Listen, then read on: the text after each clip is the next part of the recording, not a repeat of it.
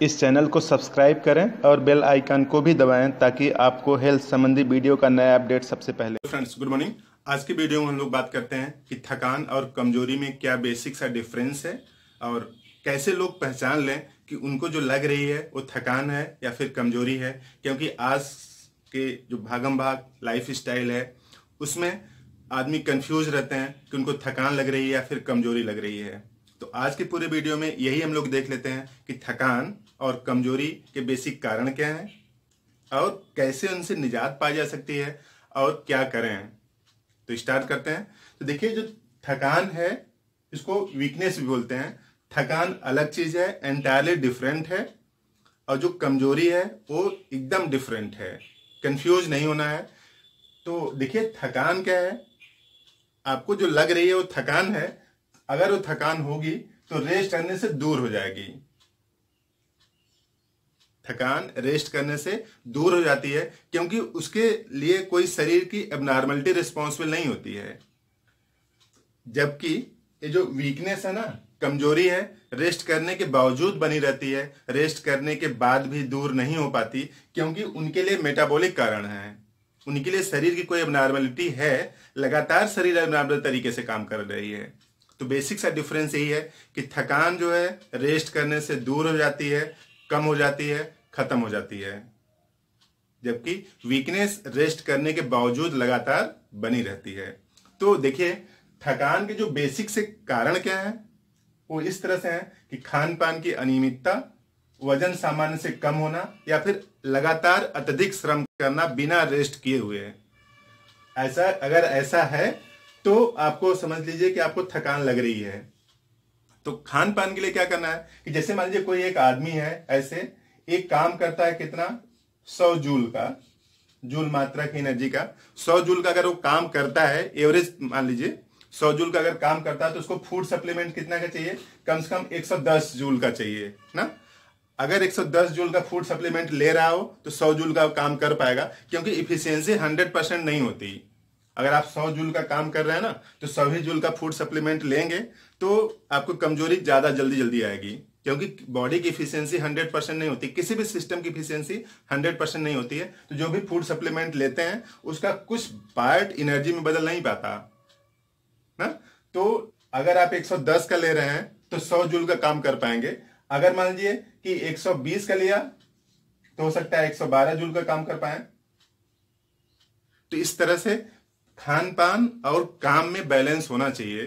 यानी जितना आप फ़ूड सप्लीमेंट ले रहे हैं, उसी के अकॉर्डिंग अगर काम करेंगे तो थकान नहीं होगी।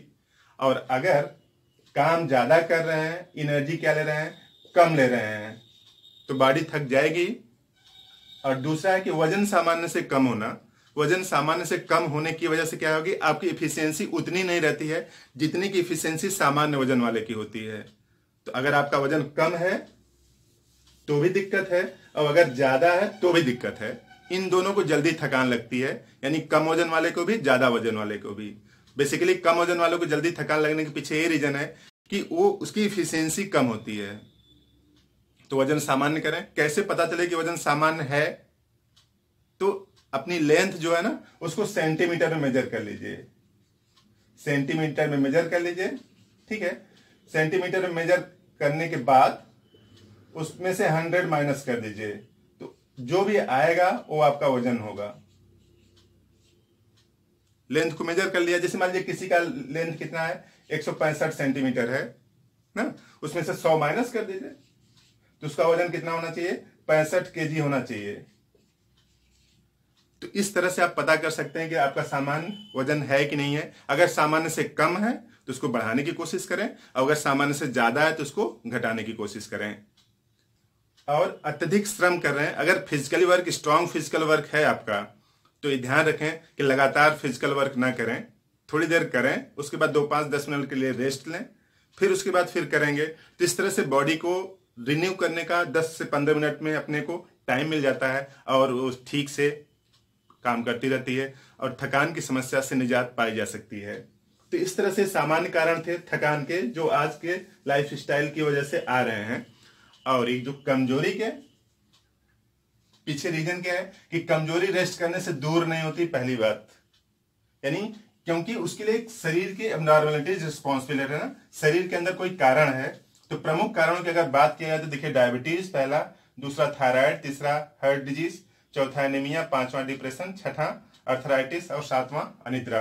तो किस तरह से अफेक्ट कर लेती है वीकनेस कमज़ोरी में? तो अब इसको हम लोग देख लेते हैं। देखिए, अगर डायबिटीज़ है ना तो ब्लड में शुगर का कंसेंट्रेशन बढ़ जाएगा और बढ़ के कितना हो अस्सी से 120 नॉर्मल है मिलीग्राम पर हंड्रेड एम तो ये नॉर्मल है।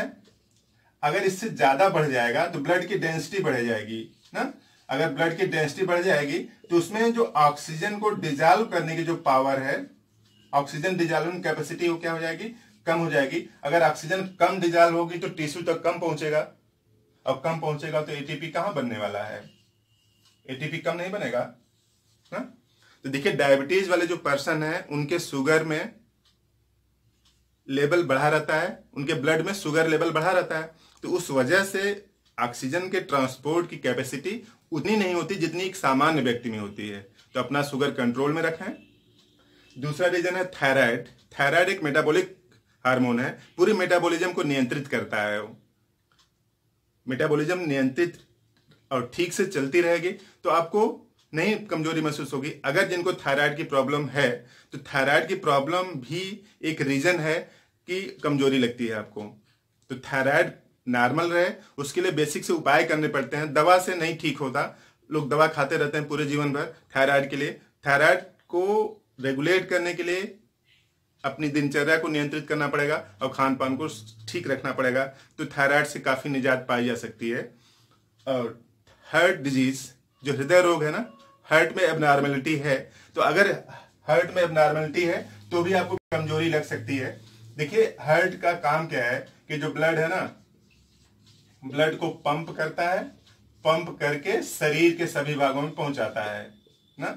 शरीर के सभी भागों में पहुंचाता है उसके साथ साथ ब्लड में क्या है? हीमोग्लोबिन है। हीमोग्लोबिन किसको बाइंड कर लेता है? ऑक्सीजन को। ऑक्सीजन को पूरे शरीर में पहुंचाता है। उसी ऑक्सीजन का यूज़ करके क्या बनती है? एटीपी बनती है। तो जिनको हार्ट डिज़ीज़ है ब्लड सप्लाई सर्कुलेशन अगर इम्प्रॉपर है ना तो अगर इम्प्रॉपर है तो पूरी सेल को, कोशिकाओं को ऑक्सीजन नहीं मिल पाएगा। जब ऑक्सीजन नहीं मिल पाएगा तो एटीपी नहीं बन पाएगी। और जब एटीपी नहीं बन पाएगी तो कमज़ोरी लगना स्वाभाविक है। ना और चौथा एनीमिया एनीमिया भी यही है. एनीमिया मतलब क्या है? कि नॉर्मल जो हीमोग्लोबिन का कंसेंट्रेशन है, उससे कम हो जाना. उससे कम हो जाएगा तो हीमोग्लोबिन का काम ही क्या है? ऑक्सीजन को ट्रांसपोर्ट करना. तो ऑक्सीजन सेल तक नहीं पहुँच पाएँगी. ऑक्सीजन सेल तक नहीं पहुँच पाएँगी. जितनी मात्रा में पहुँचना चाहिए काम के हिसाब से. अगर कम पहुँच पाएँगी तो एनारोबिक ऑक्सीडेशन होगा. उस वजह से लैक्टिक एसिड या फिर दूसरे हार्मफुल वेस्ट मटेरियल बनेंगे. देखिए, जब भी बॉडी में ऑक्सीजन की कमी होगी तो एनारोबिक ऑक्सीडेशन होने लगता है। उस एनारोबिक ऑक्सीडेशन की वजह से बॉडी में पेन स्टार्ट हो जाता है, दर्द होने लगता है। उसी को आप क्या बोलते हैं? कमज़ोरी, हा? और डिप्रेशन सबसे बड़ी समस्या है आज की डेट में। डिप्रेशन किसी को भी हो सकता है तो डिप्रेशन से निजात पाने के उपाय किए जाने चाहिए। डिप्रेशन में होता क्या है कि पूरी मेटाबॉलिज्म सुस्त पड़ जाती है स्लो डाउन हो जाती है। अब पूरी मेटाबॉलिज्म स्लो डाउन हो जाना तो पूरी मेटाबॉलिज्म का स्लो डाउन होना किसी कोई एक कारण नहीं है, कई कारण हो सकते हैं। लेकिन पूरी शरीर की व्यवस्था स्लो चलने लगती है। इस तरह समझिए, जैसे आप जा रहे हैं रोड पे, कहीं पे जाम लग जाए तो आप चल तो तेज सकते हैं, लेकिन चल ही नहीं पा रहे हैं। तो डिप्रेशन वही करता है, शरीर की पूरी व्यवस्था में जाम लगा देता है। तो डिप्रेशन से बचने की कोशिश करें। अगर डिप्रेशन है तो उसका प्रॉपर इलाज करें। थकान अपने आप दूर हो जाएगी। और अर्थराइटिस अर्थराइटिस जॉइंट्स मसल्स में जो पेन है आर एस फैक्टर बढ़ जाता है। तो उस अर्थराइटिस की वजह से मसल्स जो पूरी है ना, वो स्ट्रेन में रहती हैं। जब मसल पूरे स्ट्रेन में रहती हैं तो पूरे शरीर में दर्द बना रहता है। और दर्द की वजह से और जो नॉर्मल प्रोसेसेस हैं, उतने यथोचित तरीके से नहीं चल पाते हैं। और इस तरह से भी आपको कमज़ोरी लग सकती है। और सातवां क्या है? निद्रा का ठीक ना आना मीन्स अनिद्रा। अगर आपको जो स्लीप डिसाइडर है एपनिया है, ना स्लीप डिसाइडर है तो अगर स्लीप डिसाइडर है तो अगर आप रात को ठीक से सो नहीं पाते हैं तो तो शरीर में कई दूसरी अव्यवस्थाएँ जनरेट होंगी। क्योंकि जो शरीर के लिए जो ज़रूरी एंटीबॉडी होती है ना, रात को सोते समय ही बनती हैं। ज़रूरी नेसेसरी एंटीबायोटिक्स आपको जब सोते हैं रेस्ट में होते हैं तो रेस्ट इन द सेंस की कंप्लीट रेस्ट होना चाहिए फ़िज़िकल और मेंटल दोनों। इन्हें केवल बिस्तर पर सोए हैं और दिमाग कुछ न कुछ किसी उदड़गुन में लगा हुआ है तो उसको रेस्ट नहीं बोलते हैं। रेस्ट फिजिकली और मेंटली दोनों होना चाहिए। तब आपकी शरीर तरोताजा हो पाएगी। अगर आपको अनिद्रा की शिकायत है, नींद ठीक से नहीं आती है तो उसका फाइंड आउट काज करें कि किस वजह से नींद नहीं नींद नहीं आती है। तो इस तरह से आपकी जो थकान है वो, और जो कमज़ोरी है, इस तरह से दूर की जा सकती है। तो थकान दूर करने का तो एक बेसिक सा एक दवा है, आप उससे दूर हो जाएगी। लेकिन ये जो कमज़ोरी है ना, उसको जानना पड़ेगा कि कमज़ोरी किस वजह से हो रही है, उसके पीछे का कारण क्या है, उस कारण को दूर करना पड़ेगा तब होगा। तो यहाँ पे देखिए, एक दवा है, जो कि आपकी थकान को बैलेंस कर देगी, थकान खत्म कर देगी। तो वो दवा है एवीना सिटाइवा। एवीना सिटाइवा, क्यू, ठीक है? इसके दस दस बूंद। एक कप गुनगुने दूध में।